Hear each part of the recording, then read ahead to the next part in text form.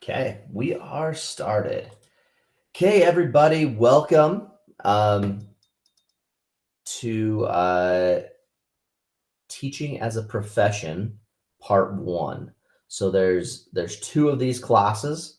I'm hoping what will happen is you stick with me through this class and this block, and the next block you take the next course, um, and so you get your uh, what's called a CTE concentrator in this area. Um, but that is up to you. But hopefully you, you will stay with me. Just so you know, this lesson will be uh, recorded for learning purposes. Uh, I'll introduce myself in just a second here. Uh, a couple things. Um, one is we're going through the class. I want to make sure we have a good virtual class set extra uh, expectations. Um, make sure you're following along with the Nearpod lesson. If you're unable to get into the Nearpod lesson, I am putting in the chat just one more time. That's okay. Um, I know some of you guys do it on a phone or something like that. Just follow along, respond to questions and instructions the first time, and you can do that just through the chat tool. Um, and then also use the chat tool respectfully and appropriately uh, as we go through here. Okay. Uh, today, what we're going to do is we're going to go over careers and education. Um, but before I do so, I'm going to introduce myself and then introduce the class since this is our first time kind of meeting together. Uh, so my name is uh, Mr. Hancock, I guess, or Zach, Zach Hancock. Um, so I've been uh, teaching at Utah Virtual Academy, I think for six plus years, maybe a little bit longer than that. So I love the online education um, there. I do have a young family. Uh, this is my wife, Christy. She actually teaches first grade for Utah Virtual Academy as well. And then I also have three kids that are growing up. Um, Brooklyn, who is my oldest, she's actually taking um, part time classes at, at Utah Virtual Academy.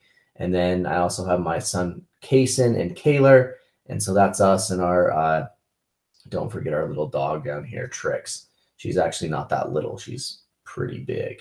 So, a Bernedoodle, if you wanted to know. Okay. All right. So, what we're going to do, uh, let me go through this class, just kind of show you how it works, that kind of stuff. Uh, I, if you want to, I'd love for you to join me every week here at Thursday, or is it Thursday 115? Um, we're only probably going to go for about 30 minutes or so. And, um, but what we're going to do is uh, if you can't make it, uh, this class is set up to just take off with it. Okay.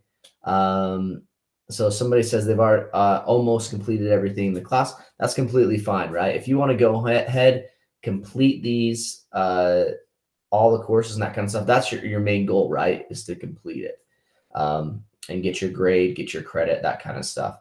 Uh, if you like to go at a more slow pace and you want to join me in, in live class, uh, I'll be here. I do give hints in class and stuff like that for um, your quizzes, that kind of stuff that you may struggle with. So that might be uh, there. On the welcome announcements, I am going to post like this video recording. So if you happen to miss a class, you'll have that. Um, if you're going to be jumping ahead, if you go to content here, you'll see everything here. You're going to have to watch like the previous time I taught this class's recording just know that's that's not our class, but everything is in here to kind of do. So as you can see, this unit one, what we have is uh, the recordings right here, the Nearpod link. You can either watch the, the recording or the Nearpod, okay? E either one will give you kind of the same information. Uh, this week, we have a quiz that's due, and I will kind of go over what that quiz looks like at the very end of class, as well as a little assignment that, that's done there. Okay. Um, so hopefully that answers your question there on the chat. Uh, with that, this the class does go until I haven't put in the due the end dates, but just be aware that the class ends on the 15th. Um, I'll just put that in right now. Course ends. So you just need to make sure you get everything um, done there it's up to you. Um, with the live class if you want to or not. Okay. All right. I'll be respectful of everybody's time and we'll kind of move on here of what we're doing. Okay. So, what we're going to be talking about today, and let me just pop back. I probably should have done my picture before here, is we're going to talk about uh, careers in education. Okay. Um, there's a lot of careers in education. And as you kind of see, I'm probably a little biased as we're we're going into these. Um, what's on the slide as well is what you're actually going to uh, your questions that are going to be on the quiz. Okay. So when we're talking about intrinsic and extrinsic rewards, that kind of stuff, um, just just know. So what we're going to do today is go over basically the pros and the cons, I guess, a little bit of being in education, uh, taking these CTE classes, which it is like college or um, career and technology education. Um, you're really kind of looking at um, figuring out if this is like a career field for you. Okay, so somebody asked a question uh, Do we take a CTE test at the end of the block? Uh, very good question. Yes, there is a CTE test that um, that you can take, and you can get a certificate at the end of the course if that's something um, that you want to do. Good question. Okay. All right. So as we're talking about education, there's you don't have to be just be a teacher. There's a lot of other opportunities in education, and I've kind of dabbled in quite a few of them. And so I'll be able to, to kind of answer those questions for you. So the rewards, there's intrinsic motivation, which is like basically what um what's kind of inside, right? Inside you, kind of what you feel and that kind of stuff. Uh, a lot of people like education because you feel like you're helping people. You have that emotional kind of thing as you're helping people improve their lives and get better. And that's really kind of what's about. But also uh, intellectual. Um, in education, you are going to be learning a lot, right? You're going to need to have a four year degree. Um, and it's going, and you're going to have to continue to learn different things. And that's one of the things I like is I like learning new stuff, right? Um, it doesn't always have to be like formal education, but I like just learning about like technology facts and you know hacks and little things like that that really make it there for me. And I also like to know that I'm doing something that's beneficial for my community and other people and stuff like that.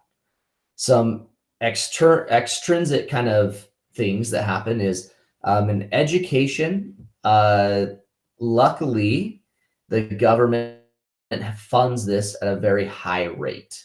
Um, like the state of Utah, like over 60% of the state budget goes towards education. Um, so you can find jobs and there's a lot of job security. And so if you do get a, like an educator license, um, you'll have very good job security and you'll be able to find a job and maintain and keep a job. Uh, another one, um, particularly for teachers and some other people that work with students, uh, summer vacation. I don't know how many of you guys like summer vacation. A little bit, right? So it gives an opportunity for you to spend time with those with with your friends and family and other people and that kind of stuff, or just go on on cool places. So that is is um, good. Another one's kind of work schedule, right? For me, it's really nice. I have some kids that you saw, and to be able to be kind of on the same schedule as them to get like winter break off together, to get um, hopefully our spring breaks line up, that kind of stuff. It helps there. Um, another thing is you get put on a salary. So a salary is that you get a set amount of money every month. And even during the summer when I don't work, um, they just prorate that. So I get paid during the summer. So I'm getting paid and I'm not really working um, there, but I still get the benefit of what I did from over the last school year, right? Um, and then also, educators usually get uh, fairly good benefits, right? Um, some of them some of the teaching professions are linked to like the state retirement where they give you uh what is it called? I'm now i'm losing my mind. Hold on a second. Um pension right? There's not a lot of pensions out there which basically give you a set amount of money each month after you retire if you work long enough and that kind of stuff um, until you die right? So you got that you get other benefits like health insurance that kind of stuff so it is really good to have that stability there. So those are kind of the benefits. Okay. Um, as we kind of look at the rewards here, um, we will look at this. Uh, let me see if it's on the next slide. I can't remember. Uh, I should have posted the link in there. Okay.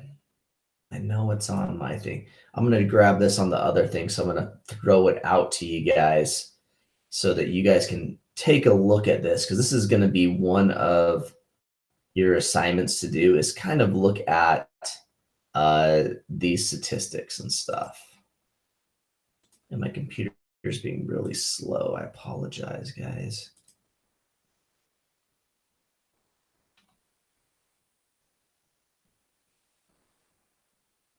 And it's still loading.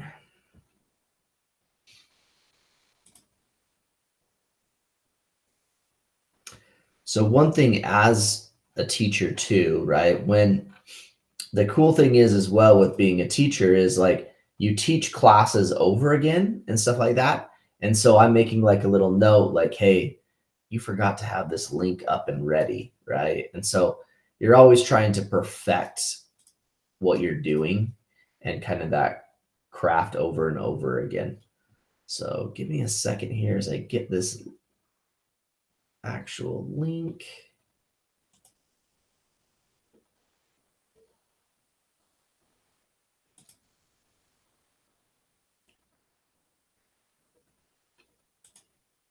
Almost there.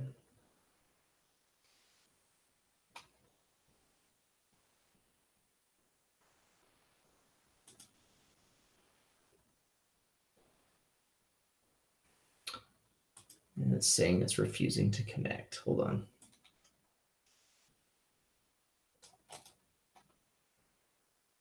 Copy address link.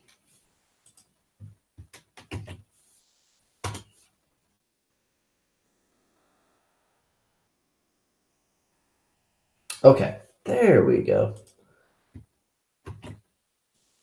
All right, so I'm putting this over here. Then I'll put this in the chat too, so you're able to take a look there. So there is a lot. So this is talking on like a national United States basis of where you're looking at, right? And it gives you all the different occupations kind of with inside education. Um, you know, career and technical education teachers, right? You need at least a bachelor's degree. Um, they're looking at, you know, 61 plus thousand dollars a year. Um, as we talked about education, we'll talk about more of that. I do have a master's degree and right, so I'm able to move up in some of those things. So you can see all of the different areas that you have um, on here. So there is, you know, it's not like the highest paying job, but it's a very stable job. Okay. So that would be some of your rewards or benefits. And if you guys have any questions or anything like this as we go through this information, please let me know or what it's like being an educator, that kind of stuff. I've had a lot of cool opportunities. So your job description, what you will probably be doing if you're more of like a teacher educator kind of thing is create and teach lesson plans, uh, keep up with student students progress, uh, grade papers, keep parents informed of students' progress, um, assure students follow rules, uh, prepare class activities. And I've actually been able to do all of those things and, and any a lot more. Um, one of the fun things that I've done before in the past is I actually am a certified driver's ed teacher as well. I don't do a lot of the driving anymore, but I used to sit right next to the student teach them how to drive, right? And so there's those opportunities too. As you're looking in education, you're gonna there's a lot of requirements. Um, so to be like a paraprofessional, so that's somebody that kind of is like a teacher's aide. Uh, usually they want you to have some type of education, possibly like an associate's degree, which is like a two-year degree. If you're looking at um, a licensed educator, you need at least a bachelor's degree, which is a four-year degree um, or above. A master's degree is for like administrators or certain types of specialists. And then there's also ongoing um, continuing education that will be kind of required. So you'll have to like just kind of learning and um, doing tasks there. Um, education in the United States is usually broke down um, into two sections, which we call elementary school, which is K through sixth grade. Um, so it even can start earlier than that, early childhood. Um, and those people, they usually get like an educator's license that lets them teach one to grades one to eight. And then you have like secondary education. So right now, like I have my secondary license, but I also have like concentrates or endorsements is what they call them. So I'm endorsed to teach like uh, this class, like education as a profession. Um, I also certified in social studies and personal finance and criminal um, law enforcement, driver's education. So there's a lot of things that I was able to do to kind of get these more endorsements, which helps me become more um, able to teach more classes and do things like that. But there are some challenges uh, with in education. Um, one of those is just complex uh, demographics and things that you have to go go through, right? So my multi-dimensional. Um, so you're gonna have in one class somebody that doesn't understand anything that you're uh, of your subject you're teaching, and you have others that will that will know basically almost everything, right? And can just breeze through it, right? And so you got to work with everybody in between. Um, you're also going to have other outside things that happen. Like, has your student been able to uh, uh, have like a place to to study at home? Do they have parental support? Are they actually um, uh, homeless right now? Uh, are they going through some sickness or other kind of troubles, family issues? There's a lot of things that kind of go right there. So it uh, takes a lot of flexibility as we go through theirs. Um, simultaneous. So you, you have a lot of things that go on at once, right? So sometimes I have three meetings scheduled at the same time and I need to prioritize which one is the most important and excuse myself from the others. Um, immediate. People like to have immediate things, immediate feedback. Um, getting things done right now. Uh, you'll also deal with a lot of parents, right? And some parents, uh, they go from one extreme to the other. Some that um, people have called at times helicopter parents that want to know every single thing their kid is doing and and every little step of the pro- process. And then you have some that there's no kind of engagement from the parent at all. So you just have to deal with each kind of side of the coin. Um, unpredictability snow days, right? Uh, for us online, the internet goes out. I've teach taught class a lot of times where all of a sudden, boom, my internet went out. Okay, gotta throw something to you guys. Um, and then also that's uh, it's public too. So being part of the government, so education is funded by the government, so we're part of the government we have to be transparent in what we we do and what we say, which is which is a good thing. We get watched there, but you know we got to follow certain um, standards that they they require and stuff like that. So there are challenges um, within education.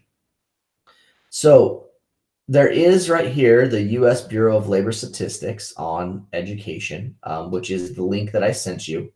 And that is going to be, I'm just going to go over your two assignments here for this week. So, Unit One, Careers in Education, you're going to have a quiz.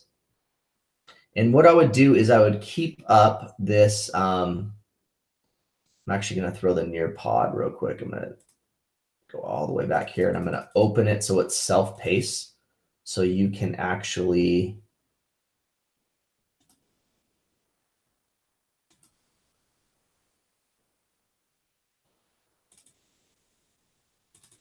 Oops, I'll share this one. Hold on. So this means that you you'll be able to uh,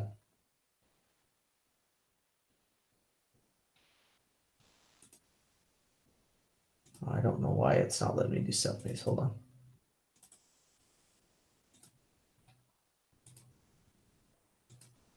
Okay, so you should be able to go through all these slides because the answers to these quizzes are in the slides, right? And so let me just kind of show you. So I just clicked on the lesson one quiz. I'm just going to, mine looks a little bit different because I'm the teacher version, but I'm going to preview it for you. And I believe it's a six question quiz, right? And one thing that I do in my classes too is you can retake these quizzes many times you want to get the correct answer.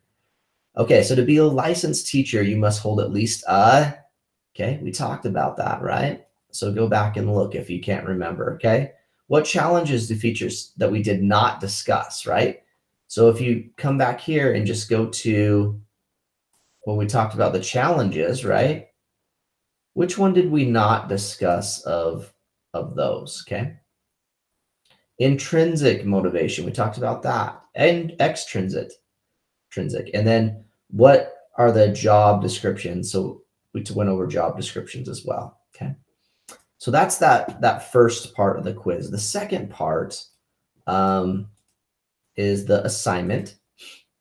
And this one, what you're going to do is you're going to go to this website right here that we talked about, and you are going to just research one of these fields in education that interests you. Okay, and then you're just going to um, tell me that you did it, and you're going to put down some information about there. And as I said, I apologize. My computer's being a little slow today.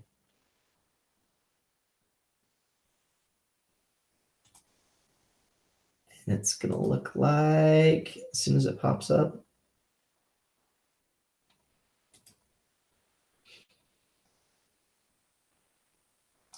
Okay. Did you go to this place? Yep, that's what I put up there. And then write down the average salary and write what it looks like because it's going to give you an outlook of what it's going to look like. Our our teaching job still going to be around, right?